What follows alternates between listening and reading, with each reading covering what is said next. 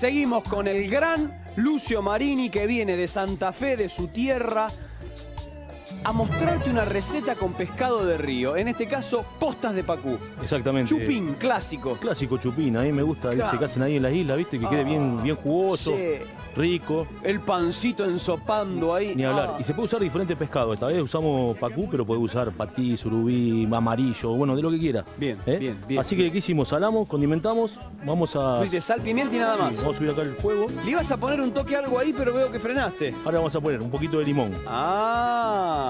O sea que a mí me gusta mucho lo cítrico, Y sí, le va muy bien al pescado. y al pescado le va bien. Y a mí hay teoría del chupín que algunos los pasan por harina para que genere más, para que espese un poco más la salsa. A mí me gusta el pescado... eh, ¿Cuál más- es su teoría, Lucio Marini? Yo lo dejo solo, sin pasarlo por harina. Eh, me gusta que el, el líquido quede más, más jugoso, no tan espeso. ¿Sí? Ma- claro, bueno, de ahí viene la palabra chupín. Chupín, claro. Ahí va. Que sea más chupinoso, Más digamos. chupinoso. Vamos a poner un poquito de limón. Lindas que se ven, ¿eh? Ahí. Qué bien esto. Hay que consumir pescado, nos hace bien, es fundamental. Tenemos ríos, tenemos mares, tenemos lagunas, lagos, tenemos de todo. O sea que tenemos que consumirlo más. Y ahora, Juan, vamos a sellarlo bien. Ralladura, mirá qué lindo, qué Sí. perfume que le vas a dar con la ralladura. Vamos a acomodarlo para poder Aceite caliente, bien, bien bien. caliente. Se va a hacer todo acá el chupín. Lo vamos a hacer todo ahí. Bien. Eh, lo que vamos a hacer, Mm, el perfume que viene. el limón le va a aportar La- ese la ácido, ralladura de limón es como... viste, bien cítrico, Sí, sí, sí, sí. que lo abra un poquito. Y hasta dulzono, porque uno... A ver, si no probaste nunca ralladuras en las cocciones, la ralladura tiene un perfume e inclusive un sabor más bien dulzón. Si vos agarrás la parte amarga va a ser más bien amarga, más... Y si la parte de adentro más ácida. Ahí estamos viendo imágenes, mira, ¿anduviste por ahí? Mirá qué lindo. Qué lindo, ¿no? es hermoso. Es hermoso. Contanos, contanos, contanos, Mirá. contanos. ¿Qué vamos a usar? Eh, No, no, contanos, ¿qué, ah, estamos viendo? Ah, perdón, pensé que seguíamos con la receta. No, estamos con tu tierra. Mirá, se- hermoso el río, mirá cómo está. A pesar de que hay una bajante histórica importante, eh, Importante y alarmante, que y alarmante, y la verdad que se está cuidando el recurso. Eh, el río Paraná es hermoso, Santa Fe tiene 750 kilómetros de costa, así que tiene bastante. Es hermoso, muy lindo, para recorrerlo, para ir a pescar, para ir a comer un asado, para compartirlo. Para comerse un chupín Para tremendo comerse como el que estás haciendo. claro. ¿Esto hasta que dore? Esto hasta que dore. Bien. Lo vamos a dorar bien. Una vez que lo, lo demos, lo sacamos. Y yo lo que voy a hacer es. Vamos a usar unas verduritas en juliana. El chupín lleva cebolla. Bien. Lleva morrón. Yo le agrego un poco de zanahoria. Hay algunos que le, le agregan, otros no. ¿Vas a usar cebolla? Vamos a usar cebolla. Vamos a usar zanahoria. Un poco de ajo acá picado. Muy bien. Vamos a usar un poquito de morrón. Que vamos a terminar de cortar. En, siempre en juliana, en tira finita. Perfecto. Y un poco de tomate en cubo. eh, o en cubo o cortado en cuartos. El Le tomate- dejás la piel al Sí, tomate. le dejamos la piel para que se vaya desarmando, pero que no desaparezca. Bien, bien, bien, Sí, bien. vamos a cortar un poquito de esto. Ahí. Bien. Permiso maestro, ¿eh? Sí. solamente para... para ¿Vos me que lo, me lo cuidás? se- No, vamos bien, vamos bien acá. ¿Vamos bien? Le falta, le falta. Ahí. Vamos a cortar esta zanahoria. Zanahorita. Sí. Muy bien. Qué bien, Esta ¿eh? la podemos Qué cortar. linda la zanahoria. Ahí. Yo la puedo poner en juliana también, si no la ¡Qué ponemos color! para que cambie la textura. Ahí, ya estamos. Ahí, muy bien, muy bien. Y ahí tenemos toda la verdurita. Es un plato que no tiene muchos ingredientes, pero queda muy rico y es fácil de hacer. ¿Viste? Una olla negra, en el río, un poquito de fuego de leña. Lo más clásico lo hemos podido vivir en tantos viajes que ahora poquito a poquito estamos pudiendo hacer en cocineros argentinos. Me acuerdo, Vera del Río, pescar. Sí. Obviamente los pescadores, yo no soy de ir a pescar, pero la nota consistía en eso. La negrita puesta ahí, un fueguito abajo, se arman todas las capas, con papas también, por supuesto. Se pone la tapa, se prende el fuego despacito, otra vez a seguir pescando y cuando volvés está todo listo. El, el clásico, clásico, clásico. Ese es el clásico. Yo me compré una ahí cuando llegué a Santa Fe. Fui y me compré una ollita de la negrita con tapa y la verdad que le da, le aporta un sabor muy interesante. Dijiste cuando llegué a Santa Fe, ¿no sos de Santa Fe? ¿Naciste en otro lugar? Yo nací en Cruz Alta, en Córdoba, eh, en un- pueblo de departamento Marco Juárez, y me fui en el 2003 a trabajar a Santa Fe, y bueno, ya me quedé ahí y soy parte de Santa Fe. ¿Te sentís un, Sí. un- un santafesino Tengo una más? hija que es santafesina 100%, Claro, así que ya estamos, ya soy Ya santafesino. sos santafesino, estamos bien. ¿Querés que veamos cómo está el pescadito? Venga, maestro, venga. Lucio Marini, representante de la Ahí. cocina santafesina en este momento, gran cocinero. Me atrevo a decir especialista en pescado, porque a veces uno se vuelve especialista a pesar de que no lo quiera hacer porque este, querés hacer de todo, pero es tanto lo que haces con el pescado que te transformás en un experto en eso. Sí, la verdad que lo que hicimos fue que encontramos este producto y, y nos, nos pareció interesante mostrarlo Claro. aparte de la parrilla y la empanada, ¿no? Digo, como se come en Santa Fe o el chupín. Y el, y el consumo de pescado río es importante. Y no queremos que el pescado tenga esa, esa presencia en las mesas de los Sí, argentinos. ¿no? Digo, que se consuma más. A nosotros nos gusta mucho. A ver, las em- empanadas de pescado. Que vos agarrés, bueno, para Pascua. Son riquísimas empanadas de pescado y te puedo asegurar que en el litoral hay y muchas, ¿eh? Hay que hacerlas más seguidas. Te tenés que venir a hacer un día unas empanadas de pescado fritas. Sí, eso me gusta mucho. Pescado de río, me vuelvo loco. A mí la empanada me gusta con. Hay, una, hay un pescado llamado dientudo, tararira.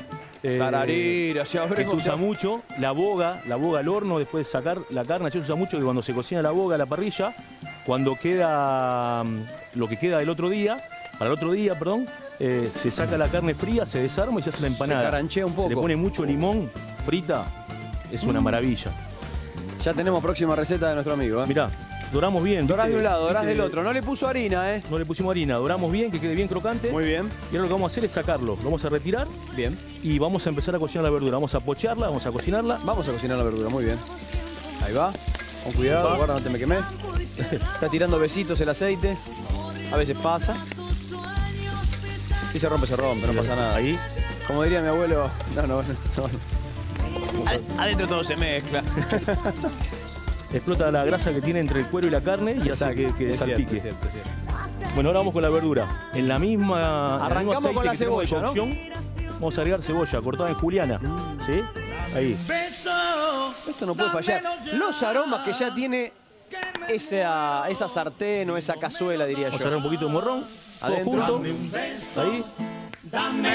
Y le vamos a agregar zanahoria. Qué lindo. Ahora le vamos a agregar un poquito de ajo picado que tenemos. Si no le gusta, podemos poner un ajo entero para que lo podamos sacar. Bien. A mí me gusta. Ok. Y vamos a condimentar un poco la verdura para que se deshidrate. El tomate, que es más blando y tiene mucha agua, lo Lo dejamos para luego. para luego. Bien. Vamos a agregar sal. Venimos súper bien. Pequeño repaso, doraste la carne. repaso. Cocinamos O sea, el pescado. Sí. Sal, pimienta, un poquito de rallura de limón le pusimos. Y ahora vamos con las verduras. Cebolla, pimiento rojo, pimiento verde también le podemos poner y zanahoria. Bien. Dejamos que se rehogue bien. Y un poquito de ajo le había puesto. Le puse un poquito de ajo. Ahí, Mucho aroma, mucho sabor. como empieza a transparentarse la cebolla. Sí. Y ahora vamos a agregar el tomate. Lo tenemos acá. Adentro. Cortado con, con la piel. ¿sí? Ahí va. Tomateli. Nosotros la diferencia de lo que contabas antes vos de la olla negra es que van haciendo capas, ¿sí? intercambiando cebolla, verdu- eh, tomate cortado en rodaja, el pimiento, el pescado y así arrancan hasta llegar arriba. Todo en crudo lo hacen, Todo ¿eh? en crudo, O sea, sí. se arma todo en crudo y en frío. Con un chorrito, alguno le pone un chorrito de aceite y de, y de vino abajo. Las, las rodajas de, no sé si, te- si lo has visto esto, o capaz que lo haces así también. Las rodajas de papa, las que están más abajo son más gruesas, las que están más arriba más finitas. Exactamente, por la cocción, para que no se terminen de romper, si no, queda como un puré. Nada, sabe cómo te queda. Y queda bien, ¿viste? Lo levantan y, Húmedo, lindo. y en Santa Fe o en, toda la- en todo el litoral se consume mucho, es un plato que le gusta mucho a la gente. Eh. Otro acá tenemos unas papitas, agregamos a agregar vino blanco, Bien. ahora vamos a levantar un poquito el fondo de cocción, ¿sí? Del, del- Levante, levante, Ahí. levante. El famoso desglasado, que queda Desglasado. espectacular. Ahí, vino blanco. Dejamos evaporar un minutito y vamos con el, con el caldo, el fondo. Bien. Agregamos el pescado y las papas. Ese caldo es un caldo de pescado. Un caldo de pescado, sí. Si no tenés de pescado, puedes hacer puede de usar de verdura. verdura, puede usar, Bien. bueno, el que uno, El que uno quiera. Eh, las papas, yo las corté un poquito más gruesas, no tan finitas porque si no se nos va a romper mucho. Queremos que esté presente, que se la pero la que tenga textura, ¿sí? Que esté...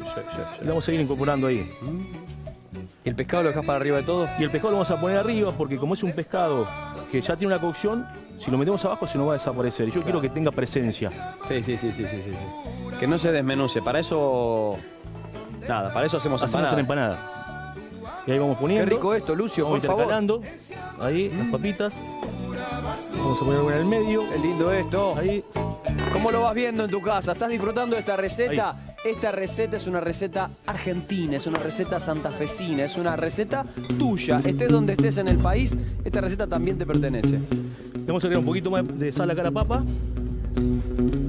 Ahí, un poquito de pimienta, tengo un poquito de orégano, eh, acá seco. te iba a decir, che, el orégano. Ahí, ese. ahí, Sí, sí. un poquito de orégano. Y ahora sí, lo que vamos a hacer es agregarle... ¿Tomate triturado era? No, que se fue, lo vi que se fue para allá. No, ya está. Ya está. No, no, no, no, ya está, ya está, Ya está, ya está, ya está. Está todo bien, gracias, gracias, gracias. Sí, está perfecto. Ahí lo vamos a dejar que empiece a cocinar, vamos a poner las postas y ya lo dejamos terminar.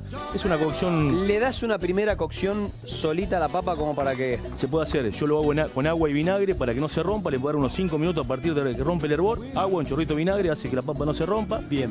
Entonces nos permite generar una cocción eh, mucho más rápida y Claro. poder reducir un poco más la salsa si nos, nos gusta con más, eh, más espesa, ¿no? Y en el caso de ponerla así que está en crudo, aguantás un cachito y después pones Claro, las si postas. nosotros ponemos la posta ahora muy enseguida.